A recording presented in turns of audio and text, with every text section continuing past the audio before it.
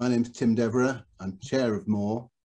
Welcome to the Movement for the Abolition of War's 21st Remembrance Lecture. Let me welcome uh, Asad Rehman. Previously, Asad was the head of international climate at Friends of the Earth. He's now the executive director of War on Want, which is a movement committed to ending poverty and inequality. His expertise has led him to be today at the forefront of the climate justice movement in the UK and around the world, helping to reframe climate as a racial, just a racialized, sorry, helping to reframe climate as an issue of racialized capitalism, economic and social injustice.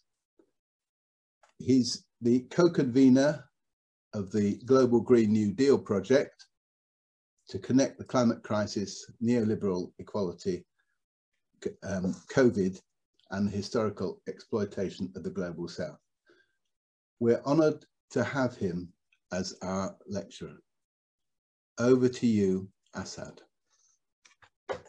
Thank you very much, and thank you for this really kind invitation to join all of you.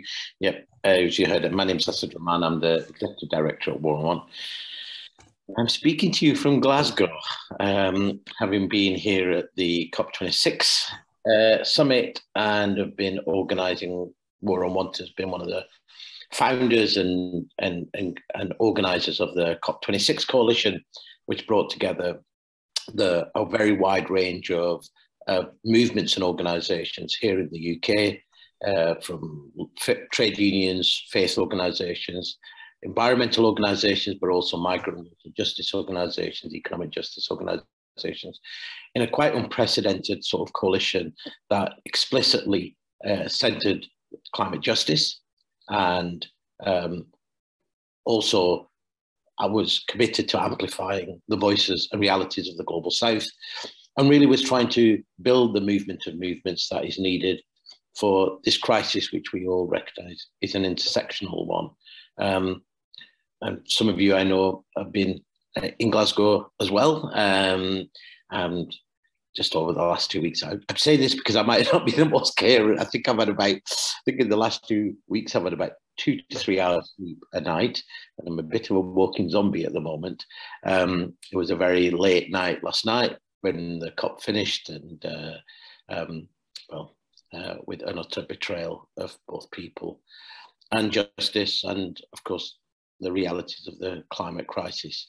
But on the positive side, I think the emerging movements that we've helped create.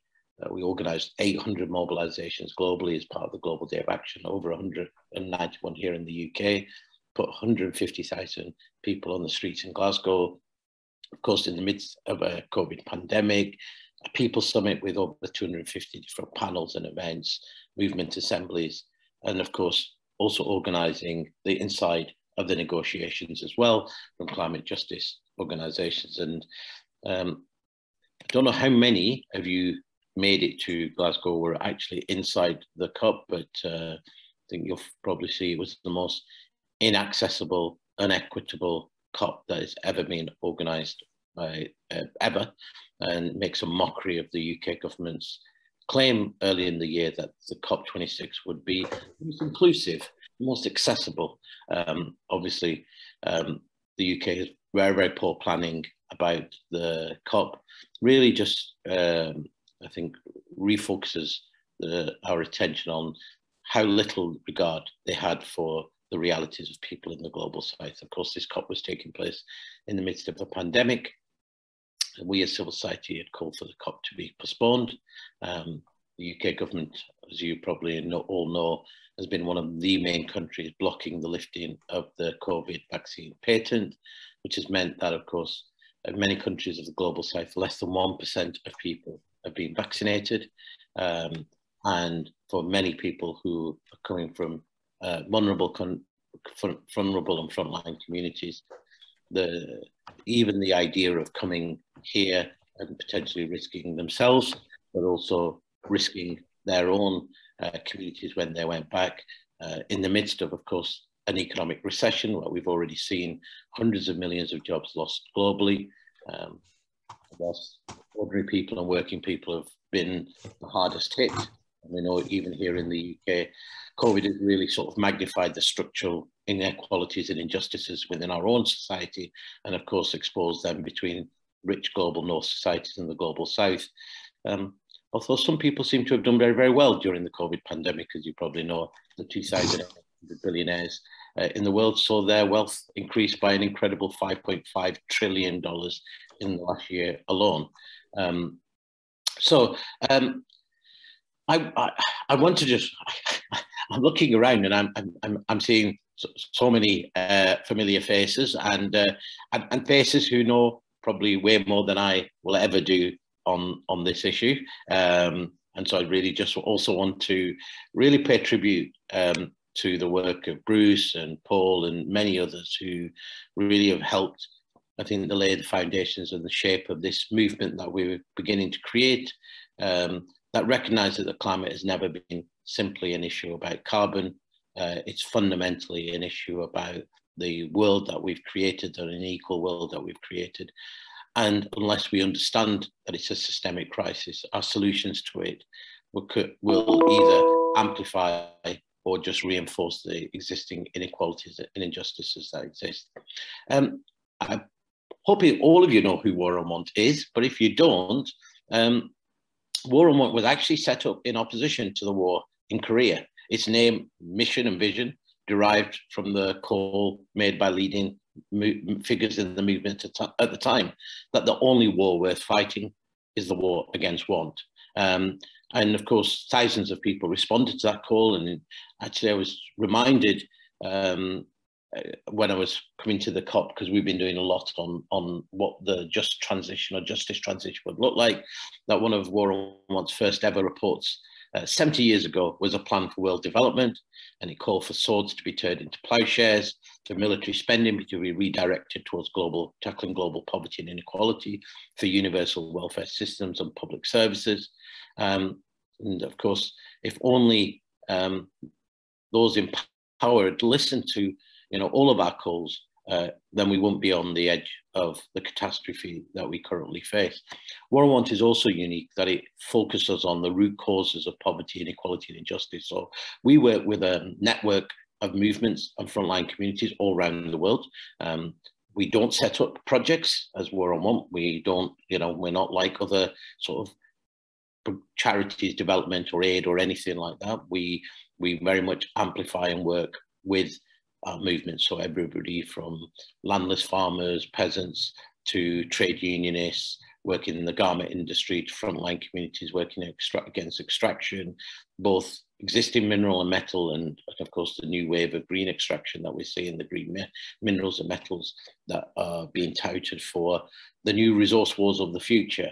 Um, we also focus on campaigning here in the UK, particularly against uh, focusing on the policies of our own government uh, from trade policies, unjust trade policies, uh, policies around the power of corporations, but also militarism. So we have a very, very strong uh, uh, uh thematic area of work around militarism and security. Um, we focus on um, the UK's role in the arms trade uh, and also work very extensively on on supporting movements and peoples, particularly facing uh, occupation. I'm sorry, I might, I'm going to just try and see if I can just shut off all my message apps because they're probably all beeping in the background. Uh, I will in a second try and just do that. It's on a different screen.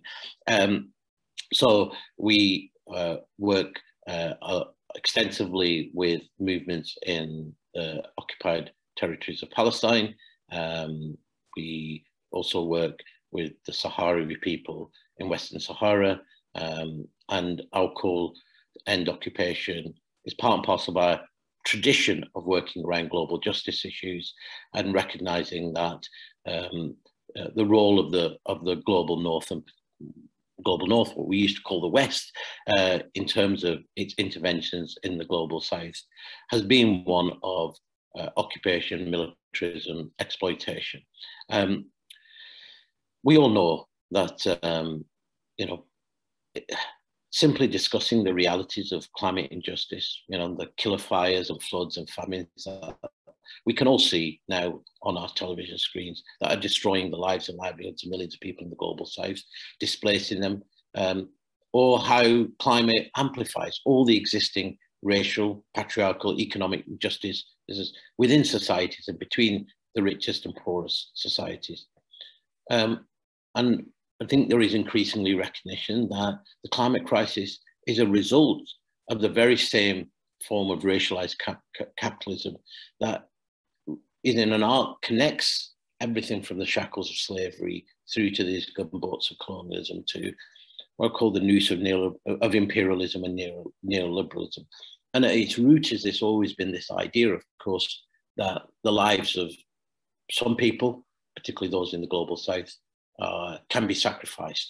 And uh, we don't have time here, but we could spend a lot of time going right back to, you know, talking about how the doctrine of discovery you know, brings this notion and, and legitimizes this idea of occupation and displacement and, and, and dispossession and begins to codify this idea that, of course, um, the, the lives of and, and, and, the, and the very humanity of people um, in what was, of course, the West likes to call uh, discovered lands, which were, of course, were never lost. Um, um, and then how that justification, of course, is used all the way through uh, the last the history of the last few hundred years uh, and the extraction of wealth and resources and of course exploitation of people has been sitting at the heart of that profit accumulation um, and we could speak for a very, very long time about you know right back to the 1970s i mean 1770s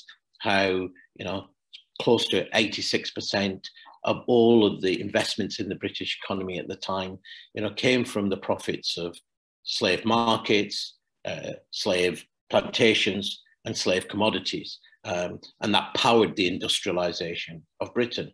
Um, um, I'm sitting here in Glasgow. When I look around this beautiful city, you see, of course, incredible architecture. And, um, and Glasgow, of course, was built um, on the profits of much of that exploitation. Of course, there's a, another story of Glasgow, which is of radicalism and, and the fight for justice here. But there, these are the two stories of, of, of Glasgow. And it's not just, of course, an historical uh, reality. Um, we know that just during the British Raj um, and of, of India, for example, uh, when Britain uh, went to India uh, its GDP of its GDP and share of global GDP was about 24%. When it left, it was 4%. And in that meantime, $45 trillion had been taken out of India. Um, and it said that Britain never financed a single war uh, from its own coffers um, and that were, it was the profits and the extraction of wealth from the global south that financed the massive expansion, both of, of capitalism in the new new uh, colonies and uh, Canada, Australia, etc., but also the military militarized and expansion of, of, of the empire. Um, but at the heart of all of these notions about when we talk about racialized capitalism uh, and sits at heart of all of these multiple crises that we we, we, we face. I, I, like to think of sort of categorize it as this idea of sacrifice zones. Now, you know, in environmental justice work, particularly from the United States, the idea of environment of sacrifice zones was it came out when people were trying to explain how is it that you know in the United States you saw areas, particularly where Black, Hispanic, white working class communities live, which had this incredible high incidence of, of ill health, cancer rates, poverty, and, um, and to explain that these environmental issues weren't simply abstract, but that they were a result of political decisions that were being made, often to cite the most heaviest polluting factories, biggest infrastructure in some of the poorest communities, the people who had the least ability to be able to affect the political process. And so in the United States, this idea, these are sacrifice zones that have been just hardwired into our economies, into our political systems. But I like to think, uh, I think the idea of sacrificing zones is not simply geographical eh, or, or even at moments of time, but it's, it's of course clearly now, it's both an historical and a present day calculation that lives of the poorest black, brown, indigenous people can be sacrificed. And, and it still sits at the core of a lot of policy making in, in the global north. So um, just because obviously um, much of our media at the moment is dominated because of the COP26, um, I want to just say a little bit about the climate reality. Um, I'm sure mm. probably many of you are well aware of this. Um, um, you know, we all know now that uh, uh, breaching the critical 1.5 degree guardrail uh, begins and tips us into what is called catastrophic climate change. It's when runaway climate change begins, when um, the impacts that we're already seeing, and these are all impacts that are happening at just over one degree warming, will begin to spiral out of control and begin to amplify themselves. So, you know, the hotter the planet, the more ice melt, more sea level rise, the more it will change our weather systems, more extreme weather, more extreme weather, more smelting, etc. And so our ability to be able to even begin to intervene and, and to be able to cut emissions becomes more and more challenging in the move and the, and we are then in an era of talking about how do we even begin to adapt to these realities and in a couple of months time the IPCC which is the climate scientists of the world will issue a new report basically saying that the ability of the world and world's peoples particularly frontline people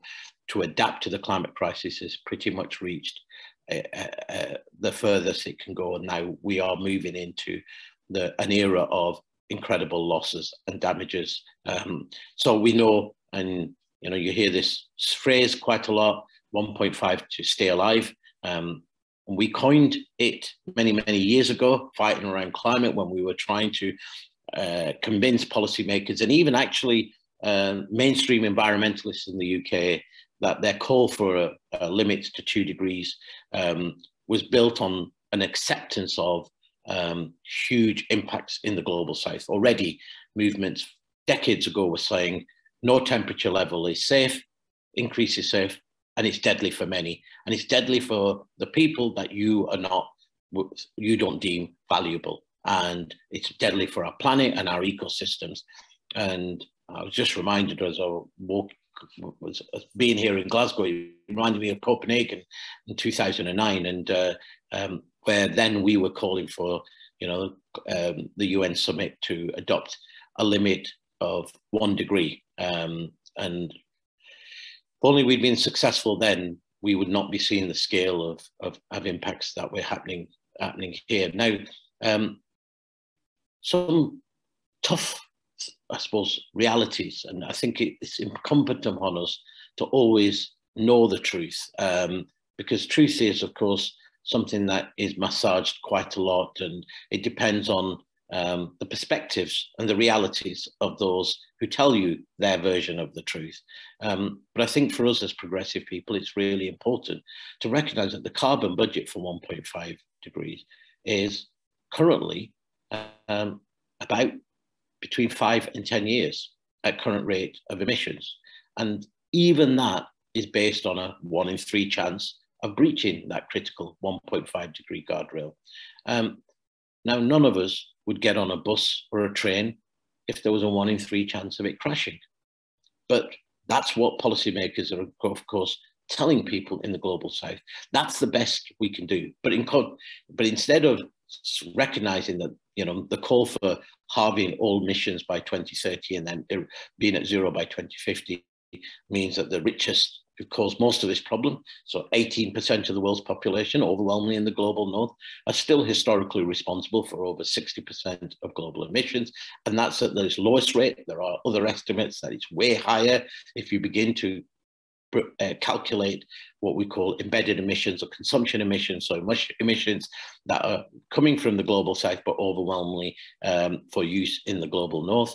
Um, but what we've seen here in, in, in, in the halls of Glasgow is what has been termed carbon colonialism, the idea that the richest countries can seize even more of what's remaining of the carbon budget and that they can bank on um, technologies that simply don't exist or they're unproven, risky technologies.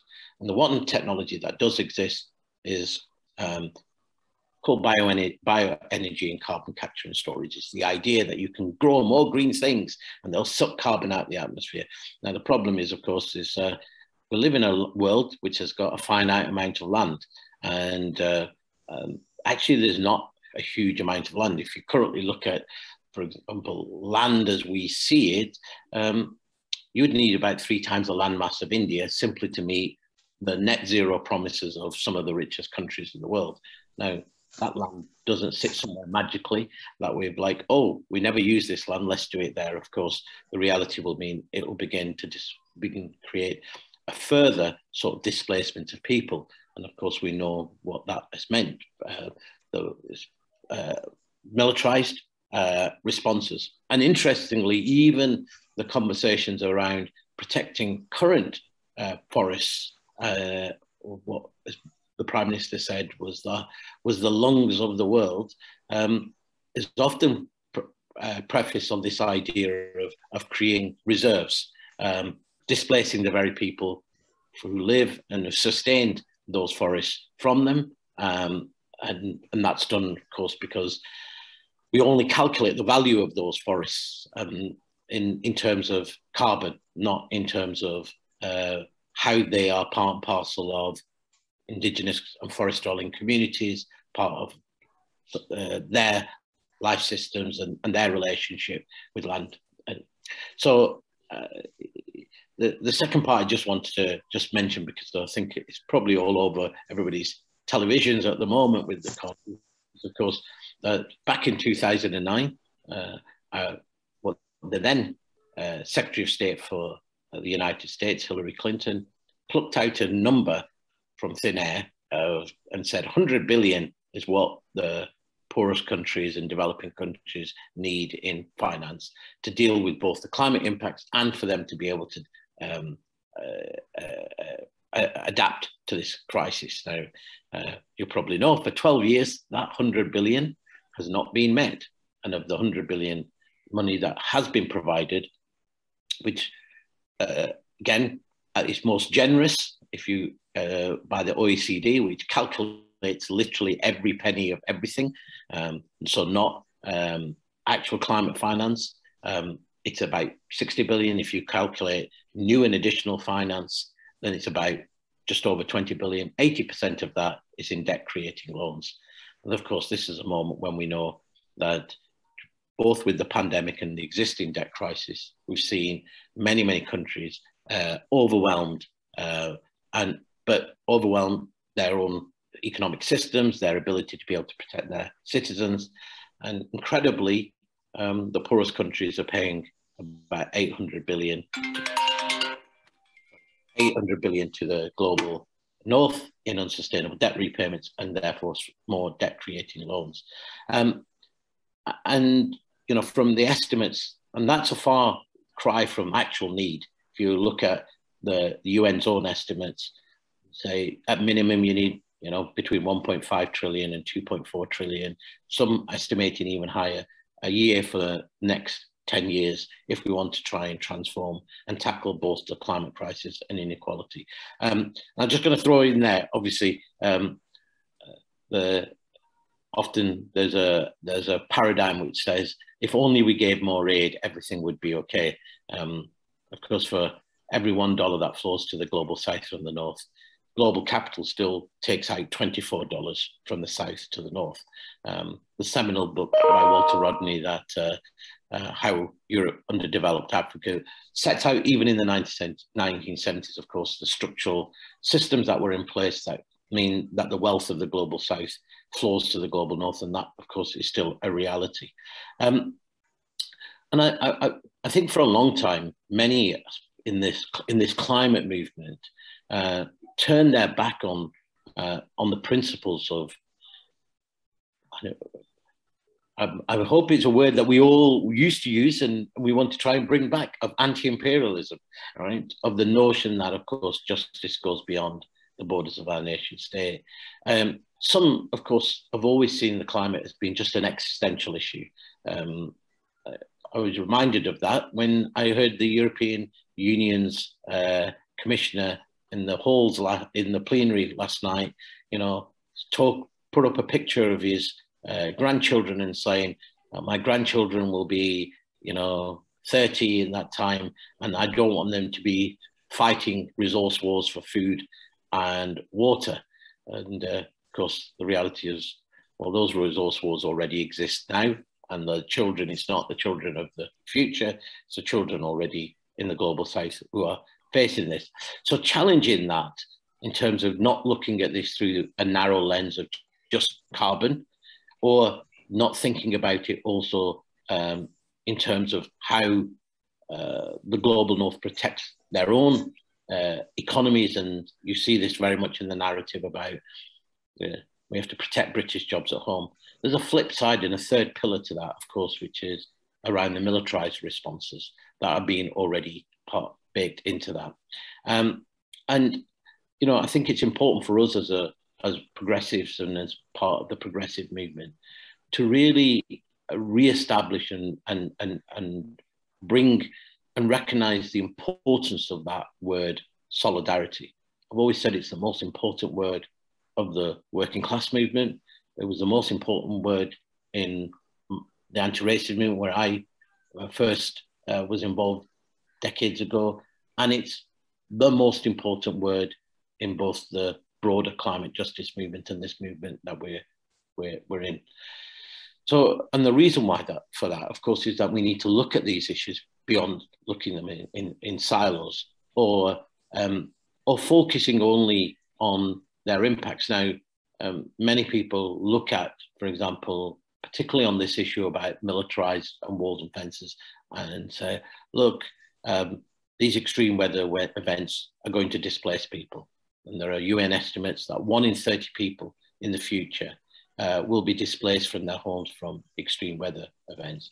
But simply looking at those people who are being displaced from extreme weather, of course, fails to recognize that the displacement of people is both from economic conflict, climate, and they're often results of the same systems. It's said, for example, that the you know that the conflict in Syria, which has many many different um, uh, reasons and as to why uh, it's been taking place and continues to you know ravage Syria and, and bring misery to the people of Syria, was of course that Syria faced one of its longest ever droughts and forced and a food crisis and a forced displacement of people from rural to urban areas. That the that the conf, that the both the positive part of the Arab Spring, but also the, the reactionary part in terms of the militarized response to the Arab Spring, of course, was was started because of not just a, lot of, uh, of, of, of, issues around uh, democracy, but also very fundamental issues in terms of the collapse of food, of agriculture, food prices increasing threefold, etc. So we're already beginning to see that looking at climate or looking at conflict can't be seen in isolation, and increasingly they reinforce and and, and are a result of the same systems.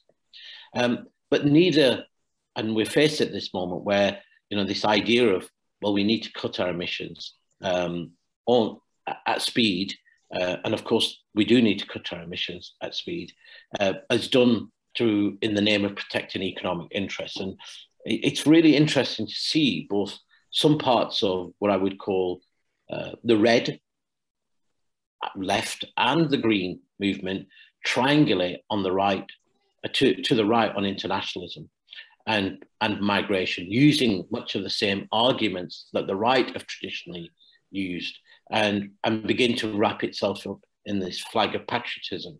Um, some of you for, may follow European politics see there's a new there's a Danish red green government in place, and the Danish government uh, is applauded often because of its steps that it's taken in terms of around climate. But it's but in in to get elected, actually, it decided that if it wanted to deliver on climate, it needed to move to the right and more right than the far right on issues of being anti-immigrant and anti-Muslim. And so some of the most draconian uh, and xenophobic laws in terms of anti-migration are now being are, are, in place in Denmark. So on the one hand, it's a champion of climate, but on the on the same hand, uh, it's um, uh, repop- is populari- popularizing the narratives of the far right. And this argument is done because, of course, people argue we need to win the social license. The only way to win the social license is to recognize where people are, and we have to respond to that. And if if Europe is increasingly xenophobic and and and, and anti-migrant, then for us to succeed on climate, we have to accommodate those views and those ideas. Uh, and secondly, this idea, of course, is is and it's not a conflict one because um, um, there is also conversation about we can't go too fast in the global north. Now, at the heart of the climate crisis, ultimately, uh, you can go slow, try and go slow, you can cook the books, but you can't feel the physics of climate, right? And so the only way you're able to go slowly in the global north is if you then calculate that it's that what happens in the global south is baked in, that you are accepting uh, a, a level of violence and displacement and disruption to the global south. And that winning slowly really is a luxury only in the global uh, global north and not in the global south. Um, and thirdly, I'm just want sorry, I'm giving you a very doom story about climate, but the third element, which I think is also really important for us to, as progressives, to be aware of in this conversation, is of course that much of the conversations about transitioning the global north requires um, a, a, doubling of resource extraction of the global south. Now, uh, if you look at the OECD at the moment, they say that we currently used about uh, 89 billion tons of, of materials from, from a finite planet, and that within the coming decades, that will double. A sustainable level is about 50 billion. Now, we know when we talk about that, is in the sense of just saying, oh, it's material use. It doesn't tell the story, but actually what that is, is of course poisoning of air, land, water, of communities and displacement, and increasingly a militarized response to communities. If we, when we, when we hear that two environmental defenders are murdered each and every week, that's what they're murdered for. It's murdered because they stand in the way of the extraction of those resources. And a new wave of green extraction, this time being told it's necessary to save us all, will simply further reinforce that securitization agenda. In fact, uh, before COVID, um, we were at BHP Billiton, which is one of the biggest mining giants in, in the world. It's do- domiciled here in the UK with communities from Chile, Colombia, and Argentina, uh, talking about what was happening to them, the displacement, the the, the role of the of the mining company, the violence, etc. And uh, what I find really telling was that he didn't deny any of these impacts or anything. Uh, the chair and the CEO basically said, "But we are needed for the green transition. We are the future. We are going to save the world." Um, and so there's already building a logic into that, which is, of course, that this next decades are going to be about these critical resources. And we know rare earth minerals and metals. Most people are you're all aware that um, we current estimates already say we that, that you know our need would be 400% uh, of the of the existing lithium cobalt. But it's not just those rare earth minerals and metals. We will need a massive amount of iron and copper. Um, and so the same ravages of extraction and violence reproduce itself, and the same logic reproduces itself, and the same then militarized response also uh, follows it. Um, so, how do we look at this this moment? Well, I think it really requires us to step back and and really begin to tell a very very different story of the world. Um, I'm often I often say that um, you know, neoliberalism's biggest victory was not uh, the damage it's done in terms of our economic and political structures, not its forced privatization or its corporate power or its attack on our democratic spaces. It's actually what it did to all of us as people. It took away our ability to be able to imagine that there is anything different. Um, that this, what the moment we live in, is permanent. it, it is somehow uh, inevitable. And we've all heard this. There is no alternative. It's the market. It's this. Uh, all the best we can ever do is tinker around the edges. But this is a moment for us, I think, to to, to think really bold. Um, I don't want to quote uh, the architect of neoliberalism, uh, Milton Friedman, but he did say something very telling. You know, only a crisis, perceived or real, creates profound change, and and what matters is is uh, the ideas and policies that are lying around, and and our ability then to make the politically impossible to become the politically inevitable. And I think this is a real moment for us um, when we talk about the movement of movements that we all know, because none of us can win and fight where we are by ourselves. We recognize we're all, they are much more powerful than we are individually, but collectively, we do have a hope. So I wanted to just say a little bit first about what that vision before I say a little bit about securitization. So this is a moment where I think we need to be talking about a really radical, anti-militarized global Green New Deal. The one that's, you know, anti-imperialist, yes, it fights for 1.5. Um, says, of course, rich countries need to do their fair share. We need to have decarbonisation in the global north. But it recognises that that can't be done through a new wave of resource wars, that you actually have to think about energy and food in a very, very different way. So the answer isn't simply saying, let's end fossil fuels and go to renewable energy, because that's just simply impossible. We have a world where 60% of the world uh, don't have access to electricity or clean cooking, energy demand is going to is massively increasing. Yet we need to reduce by 60% our energy use. How do you do that? You can't do that with simply with renewable energy. You have to start thinking about energy in a very very different way. Energy as a social good, as a as a product. What what energy do we need that for our well-being and for a productive economy and not for wasteful economy. And of course, one of the largest consumers of energy, as we know, is the military. So begins to begin to ask this question, well, what, what do we deem to be important within this future world we're all trying to uh, create? Similarly with food. But it also needs to, of course, tackle inequality and poverty. Um, similar figures, you know, um, often we're all told this story that global poverty is uh, falling. Um, and it falls if you accept that the poverty level uh, uh, is one dollar ninety. Uh, if you accept, if but the reality of actual poverty um, would, is about five dollars fifty a day, um, and that's not five dollars fifty. It's the equivalent of what five dollars fifty would buy you in the United States.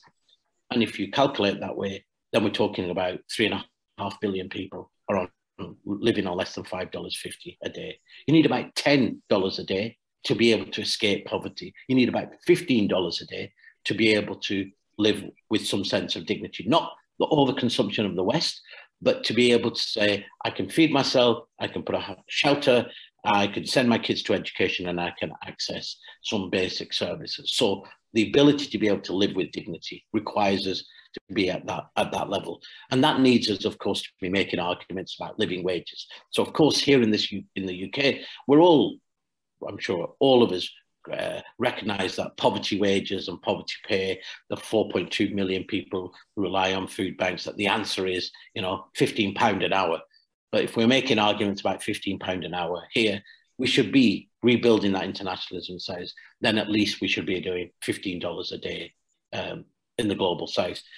And we all recognize, of course, in this last year, more than ever, that social protection and universal public services are the critical determining factor between uh, when crisis hits. And that's been as true for climate, for economic inequality and poverty as it is for COVID. So beginning to think about social protection and universal public service, a global NHS, a global welfare system. These are not ideas that are impossible. And I, as I said, 70 years ago, War on Want wrote that in its first plan, said actually it's totally possible. And it has always been technically possible. We have, we have enough resources to be able to do it. Obviously, the main barrier has always been political will. But secondly, to put people's well-being ahead of this idea of growth and consumption of the rich. But to be able to do all of those, you really need to begin, and this is where I think we play collectively a really important part in this conversation, is when people talk about delivering those three things, you can only do them when you begin to say, what are the systems of oppression that sit in the way of doing that? Right? So people often say, well, that's racism, it's colonialism. And we have to say, absolutely, but that's also about militarism as well, both in the in the in where resources are being funneled, but also the systems that have been hardwired into our into the realities of dealing with the climate crisis. And I'm going to come uh, to that because there is a danger at this moment um, that this doom and urgency of the climate crisis begins to validate that any response in the face of this climate crisis is legitimate, right? Because if we are standing on the edge of catastrophe, then of course you do anything, but what you do really matters, and what the logic of what you do really, really matters. And um, and too much of our movement has uh, has forgot forgotten that our progressive movement was rooted always in anti-militarism. That we recognise this argument that uh, for ploughshares you need to beat the swords, because this question about uh, there's never enough money, um, and I said we have never enough money for the hundred billion, but uh, we managed to find uh, over 12 trillion um, in the last year for the COVID responses. We found 16 trillion to bail out the banks in 2008. Um, but uh, it's impossible to find this paltry figure. And of course, that is drop, a drop in the ocean when it comes to global military spending, and particularly spending by the richest countries uh, in in the in the in the in the north.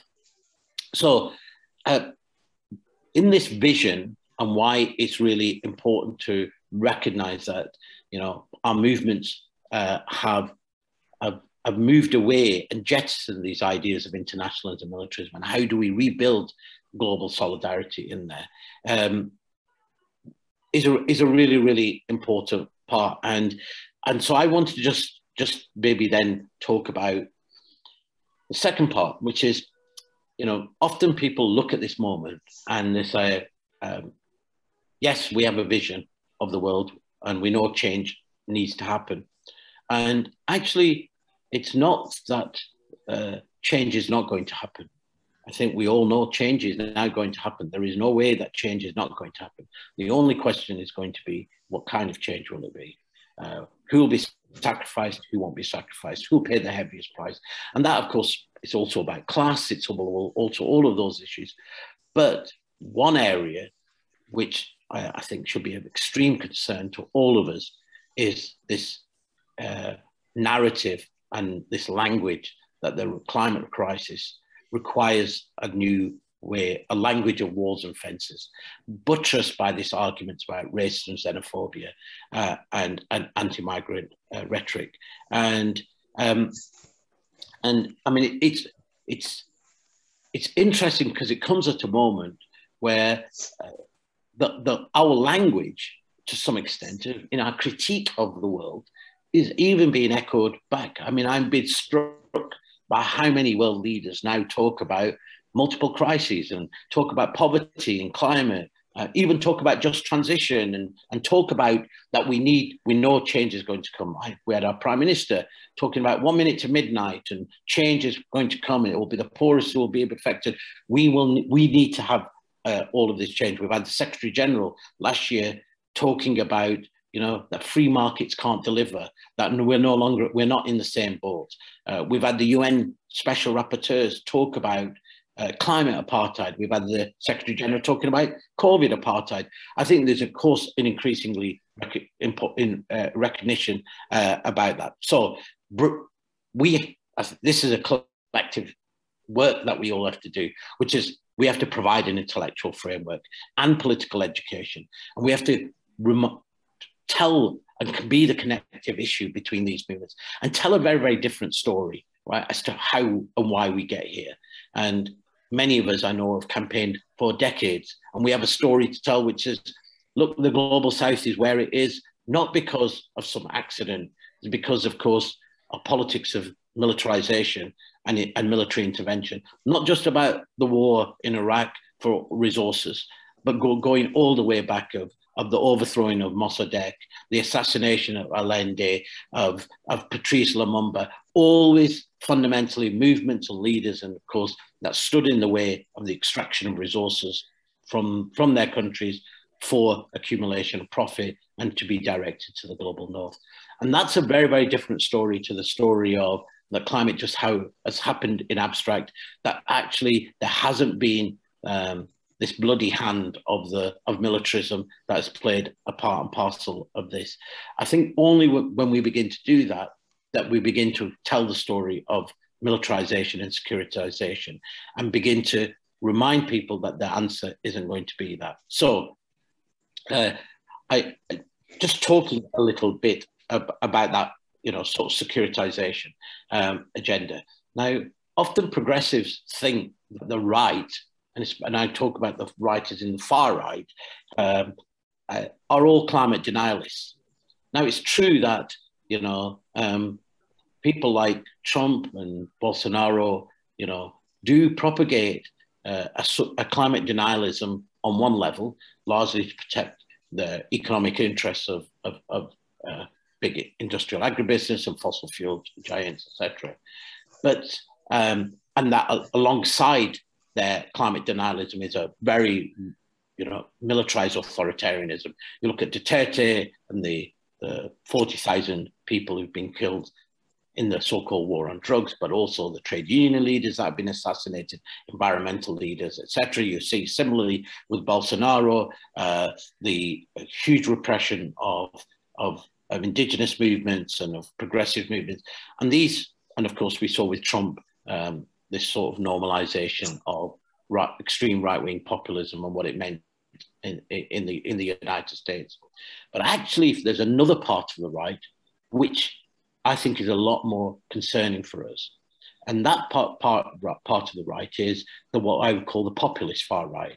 And that populist far right, which emerged from the ruins of, of, of, of, the financial crisis in 2008, has been very adept at adopting much of our critique of the economic systems, and but then tailoring it and using it to justify their uh, their their ethno nationalist politics, and we saw that, of course, with Orban in Hungary, with Salvini in Italy, Le Pen in France, and you see it again and again and again. It's a very sort of we it uses the language of no one left behind. The, the, the, work, the working class have been failed by corporate elites, but the answer, of course, is that the the threat of the of the black, brown, Muslim, etc., requires us to protect our own. And they also use the climate emergency. In fact, they uh, make stronger use of climate science than many of our leaders do. And they're much more literate about what the carbon budgets are. And they already are saying, yes, this is inevitable now, it's cat catastrophic. The only question is going to be how do you respond? And their argument is it's impossible to respond. So, what we need are walls and fences.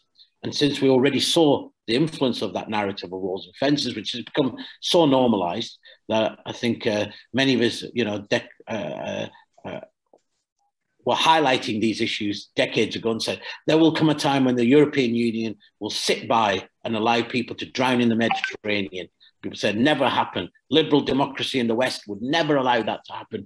Uh, we're built on the principles of human rights. And of course, we see that happening in the Mediterranean. We have a Home Secretary who's now saying, you know, if a border officer uh, uh, takes the life of, of, of somebody, uh, of a migrant, in, in the process of stopping them, um, that's totally acceptable and they should be able to do that with impunity. We've seen the whole rolling back, and of course, we saw uh, the, the government talk about that the response to this migration uh, and, and the, these small boats is we need more warships we need more warships but that play that story is not isn't just there in extreme right it comes from um, the role of um, of actually a very senior uh, uh, military you know the war apparatus as such um, if I always say, if you ever want to see who understood climate the, the best, look at what the military are writing, and that's been true from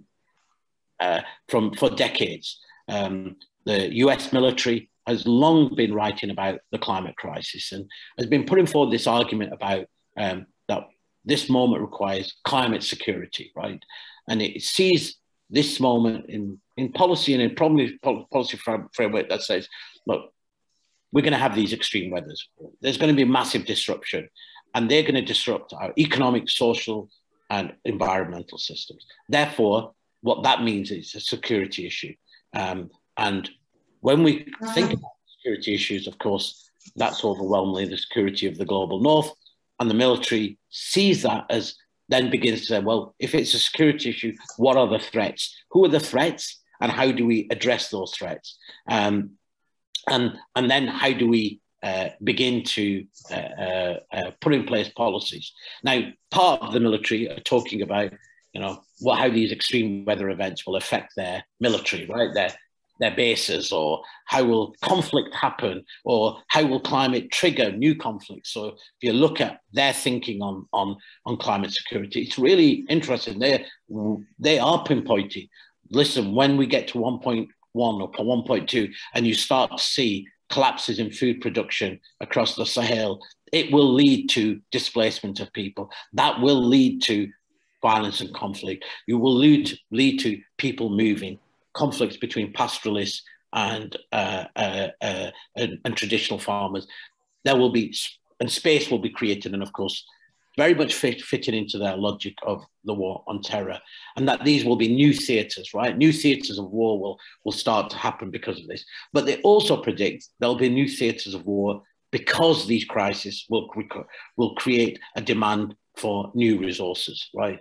Whether that's food or these new minerals, but also of geopolitical. So the more, of course, the ice melting the Arctic, more possibilities of more extraction of resources, and more uh, new shipping routes. And so climate becomes this, you know, it's often they use this word threat multiplier or a catalyst to conflict. And, um, and the language within the military, and you see it again and again, is around this. We're going to be in a persistent conflict. This is going to be more unpredictable than during the Cold War. And as such, we need to increase our militarized budgets. And I always rem- remind people, we, of course, all of us looked at, with it aghast at the, the, the, at Trump when he started banging the drum about build the wall, build the wall. But actually, the build the wall argument was first normalized by the US military in its reports. It said in future, climate will uh, create a displacement of people and forced migration of people from the Caribbean and Latin and Central America.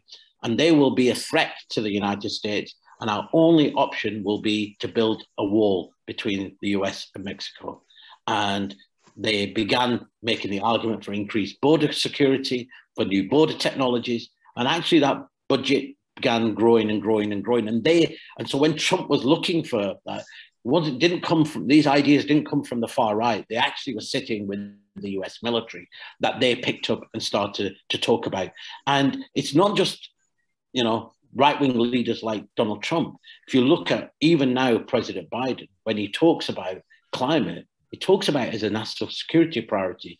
NATO have got plans on climate and security. The UK has declared it a security issue. There's the, the, the increasingly this long, language beginning to permeate everywhere. The UN Security Council last year had, uh, sorry, earlier this year, had a high level debate on climate and security, right? And walk around the, the plenary rooms and the meeting rooms and the, what I call the Davos trade fair that's taking place at the COP26, and you see people talking about you know, climate and security as the justification for certain approaches, saying this is now a security issue. And if it's a security issue, then that begins a logic uh, uh, and an approach in a particular way. Of course, the flip side to that is you also see those very same uh, uh, uh regimes talking about pro- people protesting about climate as also being a security issue, right? Because we threaten core parts of the national or the economic infrastructure. And I don't think it's a surprise that the government is forcing through the most restrictive legislation on the right to protest that we've ever seen. Um, effectively, will be criminalising um, what we've long fought for, which is a fundamental right, um, because the idea of a protest not causing nuisance and allowing people to define what nuisance is, um, is in itself um, begins that narrowing of civil civil society space. And anybody who has gone to Glasgow in the last two weeks will tell you one thing. Glasgow was like a militarized city. There were more police on the streets, more fences, more walls, more barriers than we've ever seen. And increasingly, that's how the state will also begin to respond to those of us who want to see change. So, not just walls and fences for the outside, but walls and fences on the inside. And anybody going to now the arms trade fairs will tell you that a lot of the technologies there now are no longer about just the guns and tanks and ships, which are all there, but they're all about new technologies about fences and walls and facial recognition and control, etc.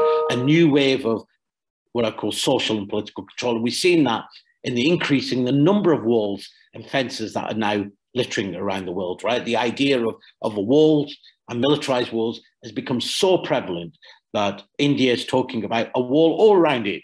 They would talk about wall in Kashmir. We've seen the same, the, the apartheid wall in, in, in, in, in Israel and, and Palestine is being exported. And the, and the argument, of course, is this works.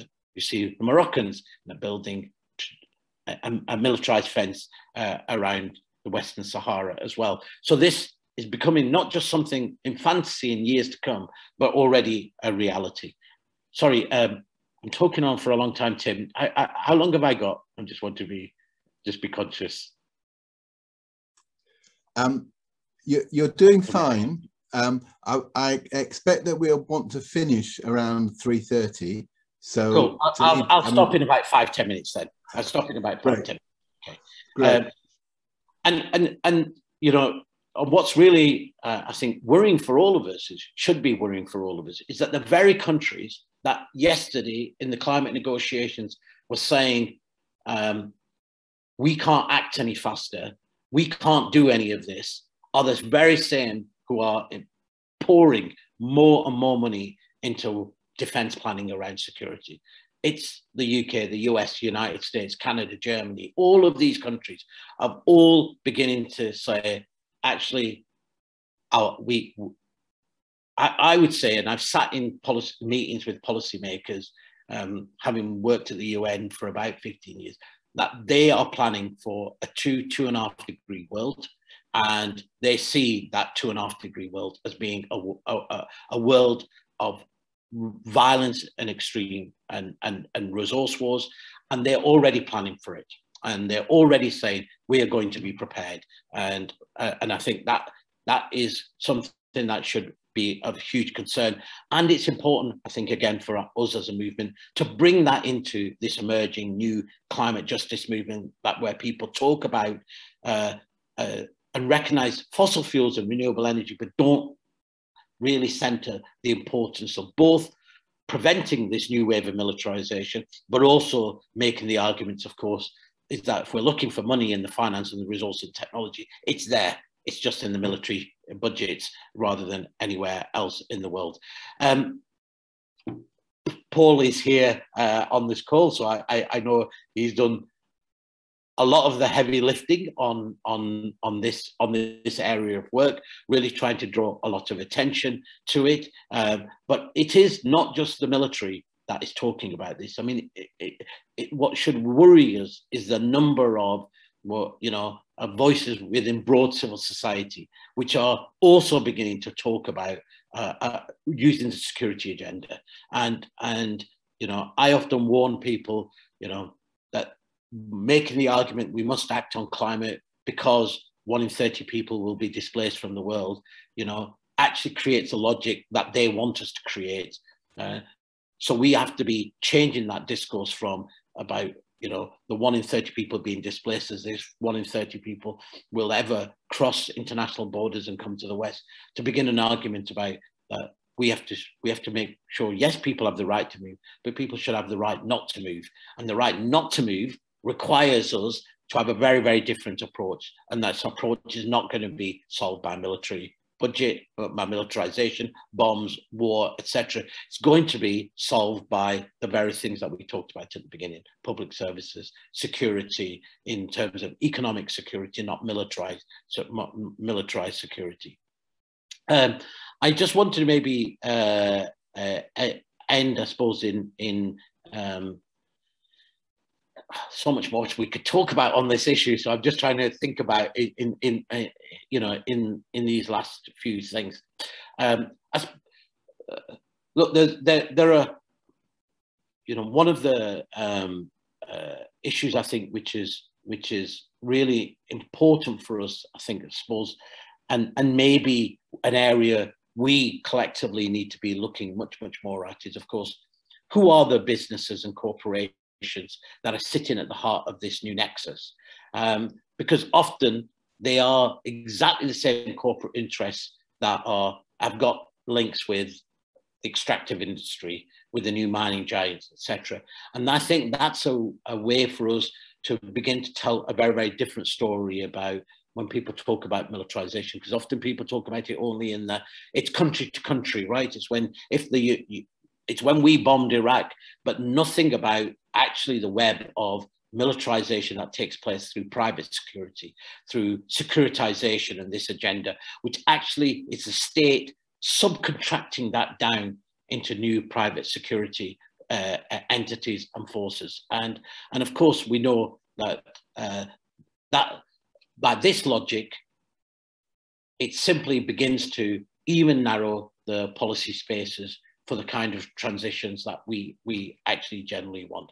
I'll stop there because I'd love to us to have more of a opportunity to have a conversation with everybody. Thank you so much, Asad. That that was just were so many ideas coming out um, that, uh, but but quite a few people have asked questions, um, put questions in the chat, which is great.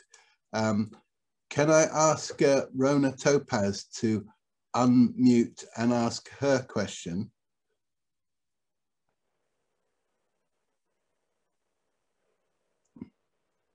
No, okay. All right, go go ahead, Rona. Uh, can everyone hear me? Yes. excellent. Um, yeah, my question was uh, regarding the inaccessible nature of the uh, COP26. Um, I was wondering whether or not that was deliberate. Uh, because I just think going forward, if we are going to paint some sort of alternative vision of, um, a, a, you know, a, a, a new sort of new green deal, as it were, whatever you wish to term term it.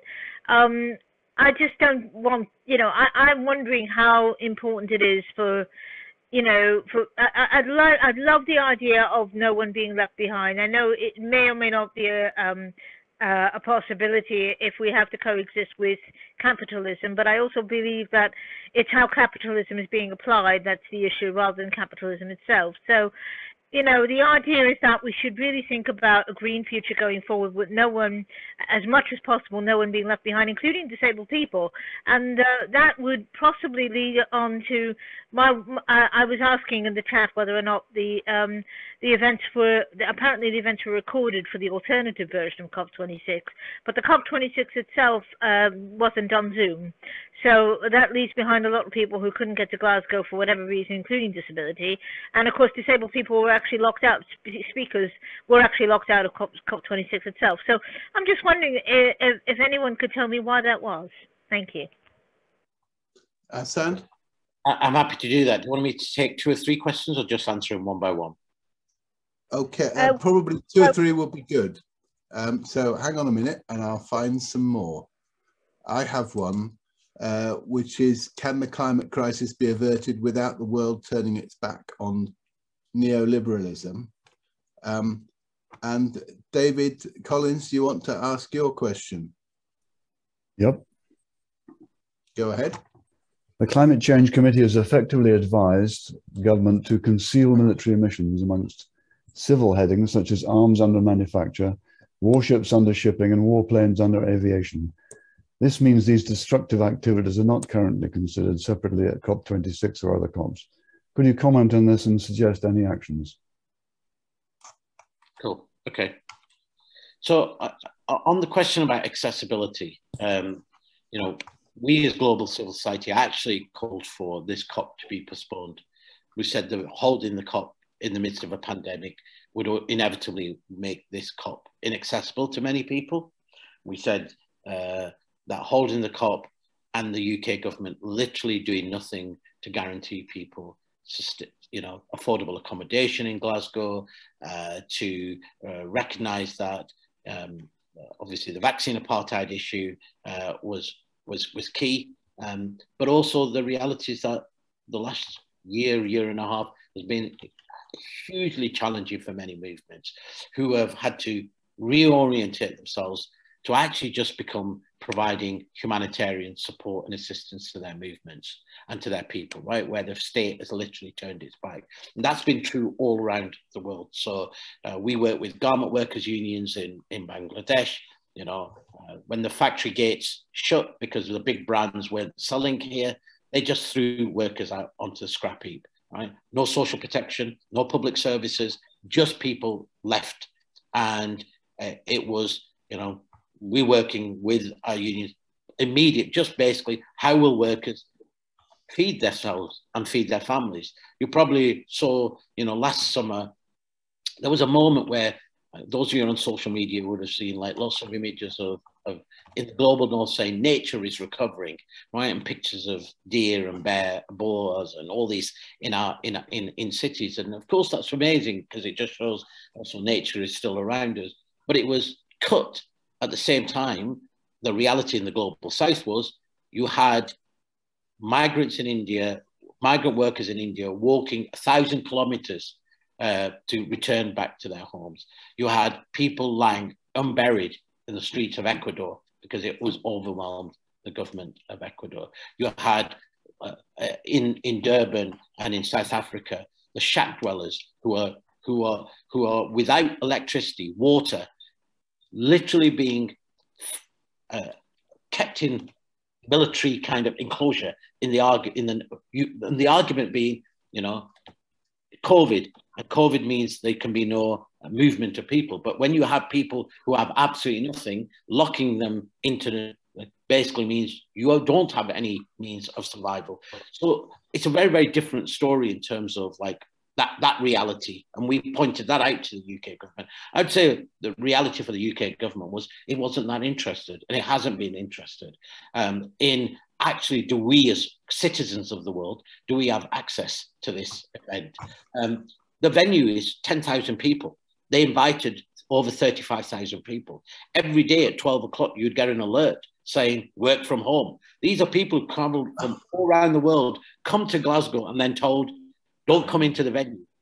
We're told you can't go into certain parts of the negotiations. We were locked out in the negotiating rooms. We're not allowed. We were not allowed in the negotiating rooms because, of course, the argument was made about it's COVID. So there, there has to be a limit on the number of people in the room. we're not allowed in the rooms. How do we know what's being negotiated? How do we influence those outcomes? So we're already locked out. We're told to go on a digital platform the digital platform, incredibly, you need to be registered and in the UK before you can access the digital platform. Um, so you you can't even like just go on the digital platform anywhere in the world, and then that digital platform wasn't working either. So it, the people who didn't have any obstacles, big business. The, hmm. the 500 fossil fuel lobbyists who were the biggest single delegation in the climate negotiations the big businesses such as Bezos, etc., who are all positioning themselves as being the solutions to the climate crisis. Those announcements that were made in week one, I mean, they're interesting because, of course, most of them are vacuous. They're vague promises that have been rehashed from previous. They can't be verified. They're just announcements. But also the idea that the state is no longer going to tackle the climate crisis. It's going to be outsourced to big business. And if you look at what Bill Gates was saying, what Jeff Bezos, what all these people were saying is it's going to be the big multinationals who are going to be the solutions to this climate crisis because they are the ones that are going to manage the new economies, manage this how we both cut our emissions but also adapt. It's a very, it's a literally, we're handing control of the world, even more so to corporate giants. So I would say it was done deliberately in terms of accessibility. And on Thursday, um, in an unprecedented move, all of the constituencies of civil society. We saw these are these are the yeah. official yeah. UN bodies yeah. that represent the trade union movement, women and gender, uh, indigenous people, environmental organizations, uh, young people, um, and dis the Disability Caucus, which is now going to, which is at this COP was finally recognized as a formal COP, all took to took over a plenary and had a people's plenary, and then marched out of the of the COP saying we're so utterly frustrated, we're here and we're locked out of these negotiations that we're unable to even be able to influence them. So I would say it's definitely, it's deliberately done. And the idea of why you want to do this is because you want to move the climate negotiations from being somewhere where every country has an equal voice and where we are able to be part of it knowing what's going on, knowing what's negotiated, to one where they want to have really a lot of these closed door bilaterals. So we will never know what the agreements are. We'll not be able to until they're being, being announced. They'll be bilateral in the back rooms, or they want to go towards the kind of WTO system where it will be sitting in some remote city and they will be working on technical outcomes all of the time. So locking us out of the very moment where actually we need to be a very much part of the conversation about because what really we're talking about is what is the world we're going to have because as I said, change is about to come.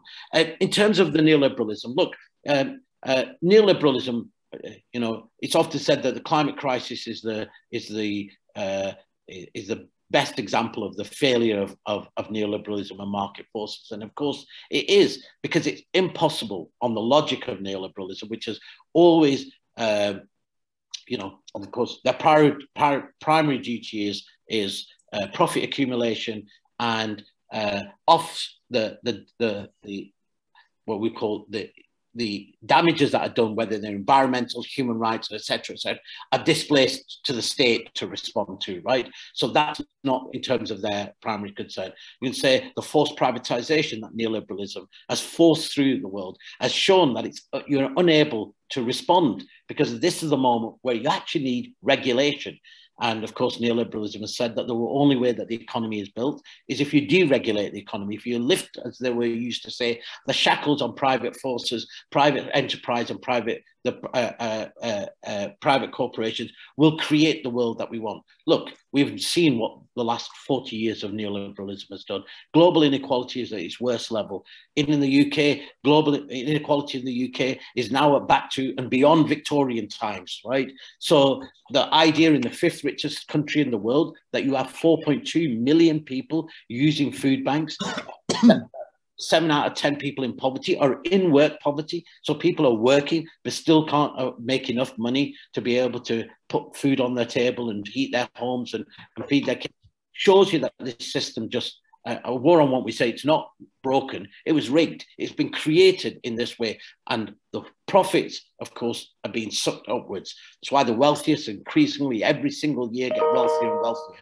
And whilst ordinary people, I mean, and particularly if you're in the global south, your income each year grows by roughly about two cents. You need about, I think it's about 200 years before you'll get to uh, what is now the poverty level in the US. And you need about 500 years before you get out of poverty, even if you uh, accept that everything else stays the same. This is just, it won't work. And that's the biggest challenge to neoliberalism, that they're faced with a crisis that requires fundamentally all the things that they don't want. It requires us to regulate polluting in, in industries. It requires us to have a strong state. It requires immediate intervention. And these might be sound like radical things, but look what this what we did with the COVID pandemic. We exactly did that. We said the private sector is not the answer. Uh, all of the European and the global North countries directly intervened in their economies to protect their economies and their citizens. They all pumped huge amount of money into their public services. They had furlough schemes, etc., etc. So we need to do that on a global scale if we want to be with the climate in the climate crisis. The military carbon argument issue is, yeah, absolutely. It's really fascinating that in all of the calculations about countries' footprints, they don't include their military right? They don't include the, the carbon footprint of their military. And if the if the if you if you calculated the carbon footprint of the United States, I think it comes in. It'd be like one of the some like some of the uh, is it the fifth biggest polluting country in the world? You know, it's a huge, massive carbon footprint, uh, and of course, you know. Sometimes it's you you know I, am I'm, I'm lost for words sometimes when I look at some of these things and they talk about ah well the military is going to reduce its carbon footprint by you know greening its war its war machine.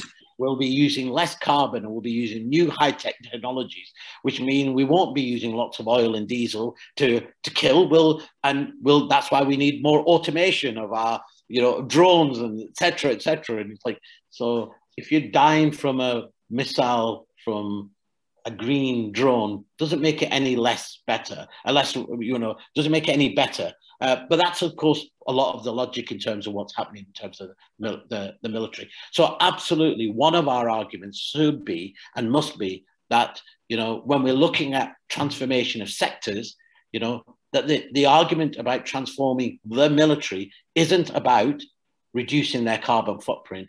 It's asking why do we need military like that? Why do we need an expansion of, of the military? Why, in this moment, when you need solidarity and cooperation to deal with a global problem, is the idea that either one competitive advantage or two that you know a militarized responses are going to be the you know the solutions of, of, of the future. That's lovely. Um, can I ask uh, Pam Flynn and then Linda Walker uh, and then Ruth Lambert to ask their questions? And then I've got one final one after that. so, thank Pam. you. Yes, thank you. C can you hear me? I have unmuted. Yes, okay. we can hear you. Lovely. Good. Um,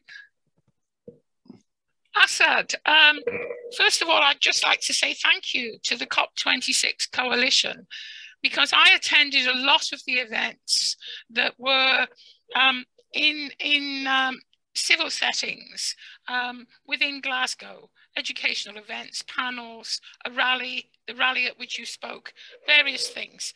Um, so it wasn't necessary to be at the COP to have a, a fantastic learning event um, experience.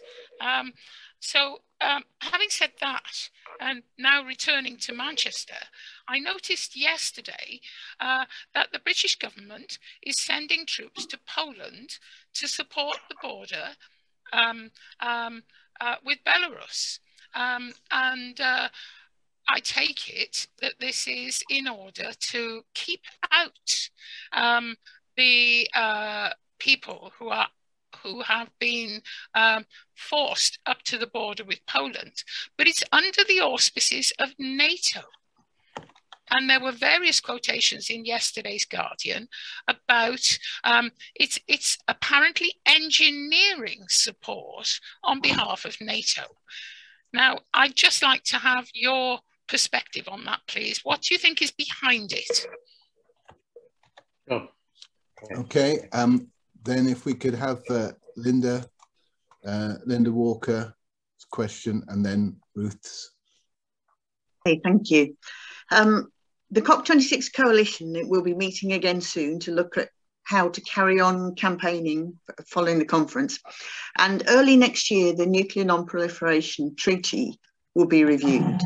And it would be really great if the wider movement around the COP26 coalition could get involved in speaking out about um, the nuclear threat and the need to strengthen the treaty, um, the fact that all the, the, the global north basically are threatening the whole world with nuclear annihilation.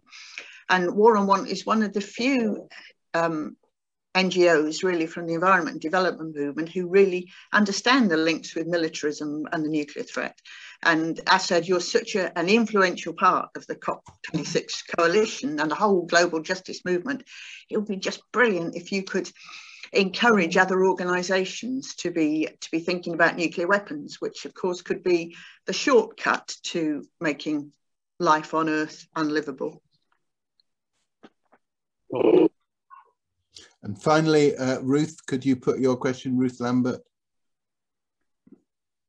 I have a kind of combination of questions because I think our very language and psyche has been hijacked. And I don't think we understand anymore when we talk about the maths, the money, the figures.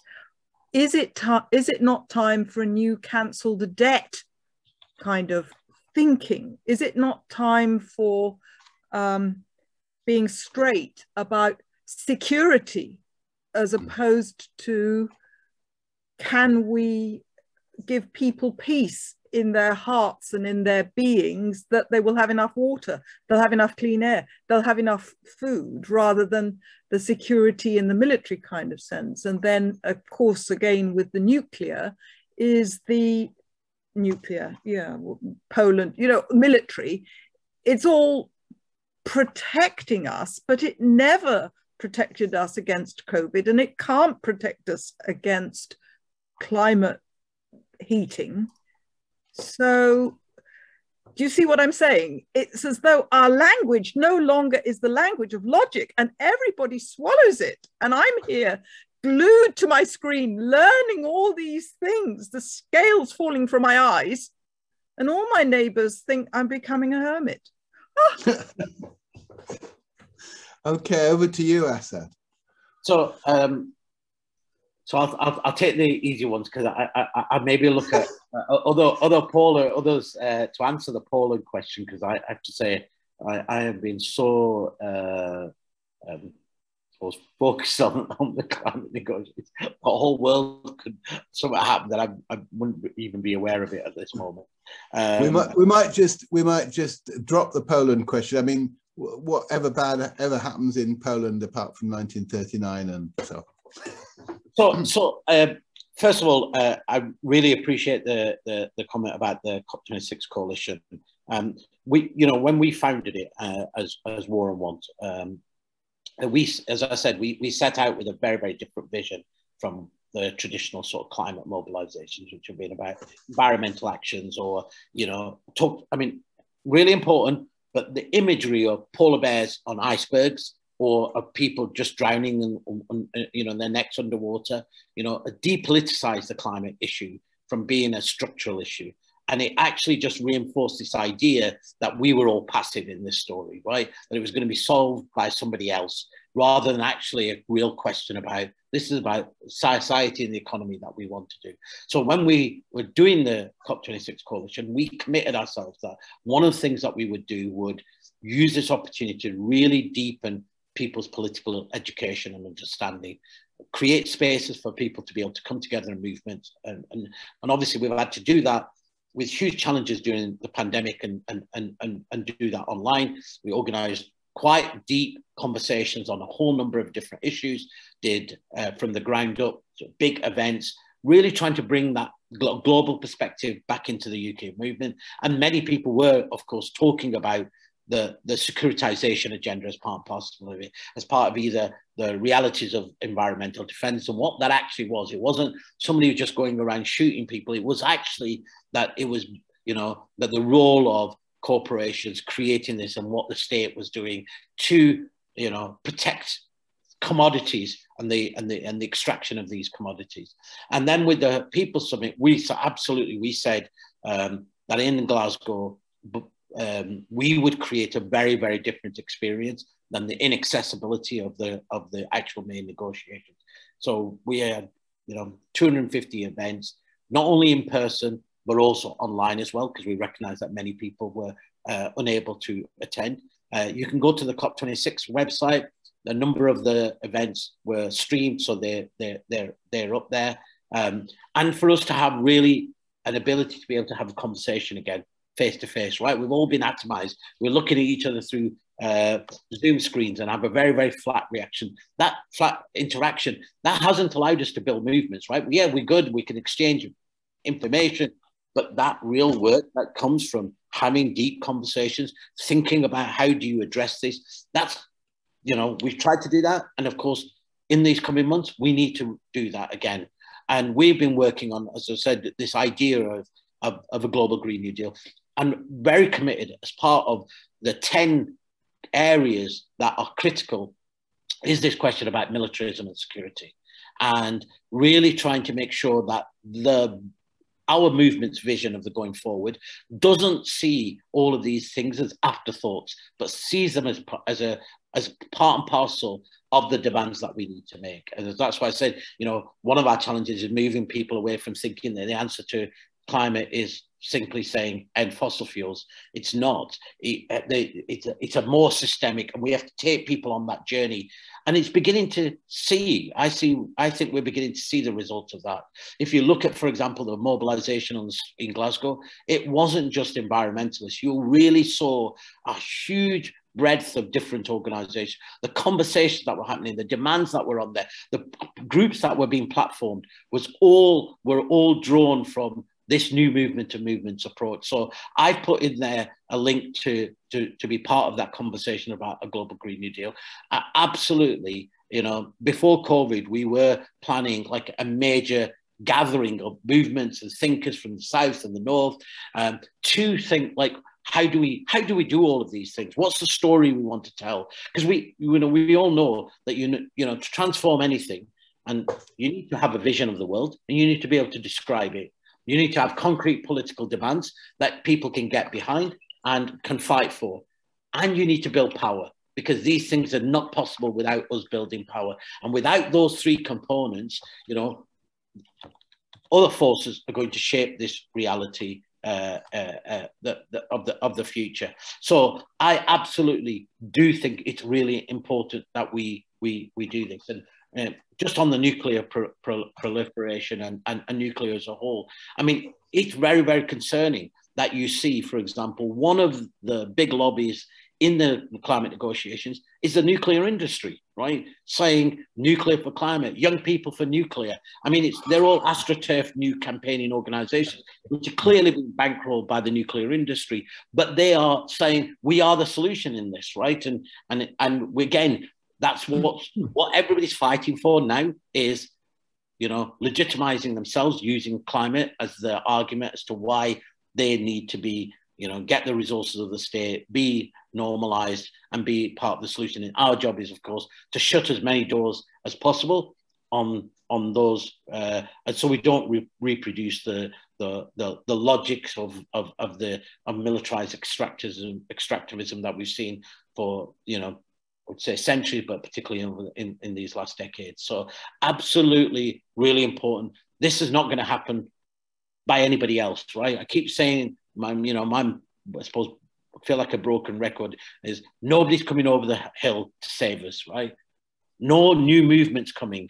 We are the movement. And it's a question of us now thinking, how and what will our new movement look like? How do we weave all of these issues together so they don't just become a long laundry list, but we recognize there are certain threads that you need to unpull. Uh, you know, Arundhati Roy has this beautiful metaphor where she says, you know, neoliberalism has created, you know, this tapestry, and we have to unpick a thousand different threads to create this new world. But there are certain threads that run through that if you pulled them, you know, actually open up lots of possibilities. And militarism and security is one of those threads. And we have to now make sure that it's a really central part of this conversation going forward. And it's a really central part of our demands going forward as well. Because if we don't, you know, we can um, we can pull some other threads, but there'll be uh, these. Uh, uh, yeah, we will leave a lot there. Thanks, thanks, Asad.